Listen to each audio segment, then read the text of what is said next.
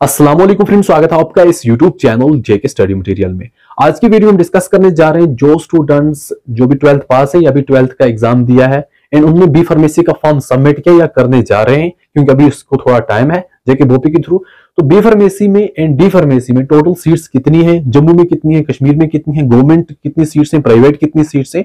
And B pharmacy के लिए क्या कुछ पढ़ना है? उसका सिलेबस क्या रहने वाला है? एंड जो उसका मटेरियल है, वो आपको कहाँ से मिलेगा? वो कैसे प्रिपेयर करना है? इसका एग्ज़ाम कब तक होगा? इन कैरियर ऑप्शंस क्या है? आफ्टर बी फार्मेसी आप क्या कुछ कर सकते हैं? या आफ्टर डी फार्मेसी आप क्या कुछ कर सकते हैं? ये सब चीज़ें हम यहाँ डिस्कस करने जा रहे हैं। अपने इस वीडियो को इन तक देखना है। तो बी फार्मेसी डी फार्मेसी दोनों का एक ही एंट्रेंस एग्ज़ाम होगा सेम सिलेबस रहने वाला तो सिलेबस वगैरह एंड पेपर कैसे आएगा? इन टोटल कॉलेज वगैरह उन, उनकी सीट्स वगैरह वो मैं आपको बाद में बताता हूँ। पहले हम थोड़ा कैरियर ऑप्शंस के बारे में बताते हैं क्योंकि हर स्टूडेंट्स को पहले ये चीज़ पता होनी चाहिए जिस चीज़ में वो जा रहा है उसमें क्या अपॉर्चुनिटीज़ बनेंगी फ्यूचर अपॉर्चुनिटीज़ क्या है कैरियर कैसा रहेगा ये सब चीज़ें पहले डिस्कस करते हैं इन बाकी चीज़ें बाद में डिस्कस करते हैं।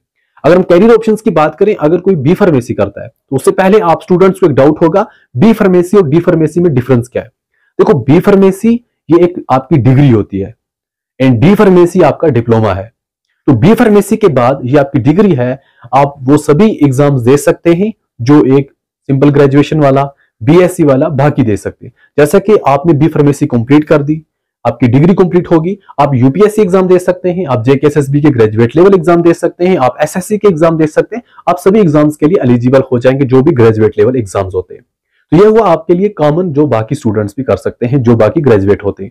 अब बात करें उससे अलग बाकी गवर्नमेंट जॉब्स आपको कौन सी मिल सकती है? गवर्नमेंट जॉब में जो सबसे बेस्ट जॉब है, वो है ड्रग इंस्पेक्टर ड्रग इंस्पेक्टर की जॉब आपको मिल सकती है after B pharmacy drug analyst की जॉब मिल सकती है आपको after B pharmacy and pharmacist की जॉब आपको मिल सकती है आफ्टर बी फार्मेसी ये मोस्ट इंपॉर्टेंट तीन जॉब्स हैं जो आप बी फार्मेसी के बाद कर सकते हैं। जैसा कि आप सब जानते हैं रिक्रूटमेंट कभी लेट आती है, कभी क्या होता है, कभी क्या होता है? तो रिक्रूटमेंट के अलावा जॉब्स के अलावा भी आप बहुत सी जो यहाँ पर जॉब्स हैं, अलग भी जॉब कर सकते हैं।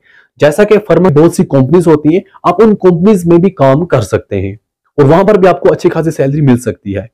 जैसा कि कंपनीज़ होती हैं, वो वहाँ पर मेडिसिन मैन्युफैक्चर करते हैं एंड वहाँ पर आपको क्वालिटी कंट्रोल के लिए जॉब मिल सकती है, वहाँ पर आप क्वालिटी चेक कर सकते हैं, वहाँ पर रिसर्च कर सकते हैं एंड बहुत सी जॉब्स होती हैं। एंड यहाँ पर पूरे इंडिया में बहुत सी कंपनीज़ हैं यहाँ पर फर्मा की तो आपको वहाँ पर जॉब इजिली मिल सकती है। After B pharmacy and after D pharmacy दोनों के बाद। आप अपना बिज़नेस भी स्टार्ट कर सकते हैं। अगर आपके पास अच्छा खासा पैसा है, या फिर आप गवर्नमेंट की स्कीम्स को यूज़ करके कोई इन्वेस्टमेंट करना चाहते हैं, आप अपनी कंपनी भी खोल सकते हैं।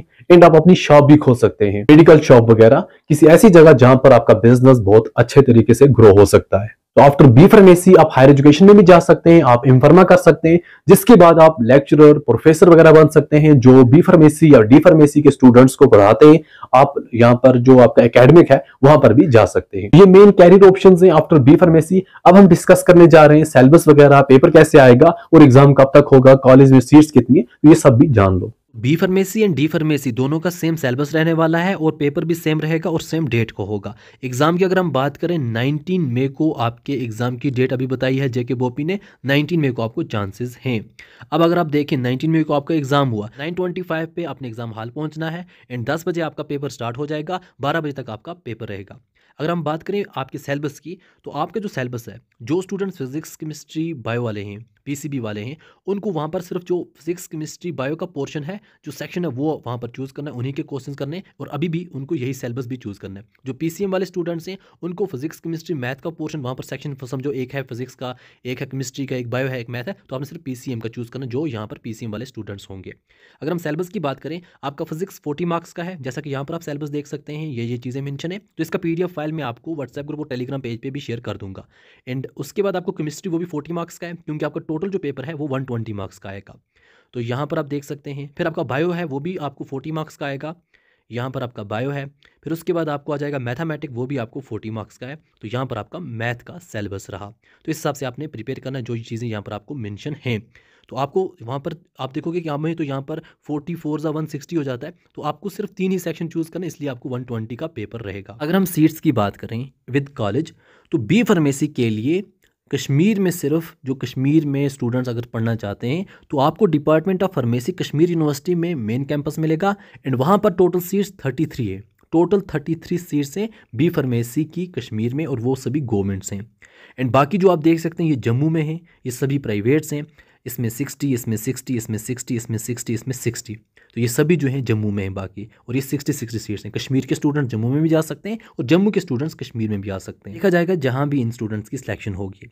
अगर हम डी फार्मेसी की बात करें, डी फार्मेसी में यहाँ पर आप देख सकते हैं जम्मू की बहुत ज़्यादा सीट्स हैं। ये सभी प्राइवेट्स हैं यहाँ पर, बट जम्मू की बहुत ज़्यादा हैं।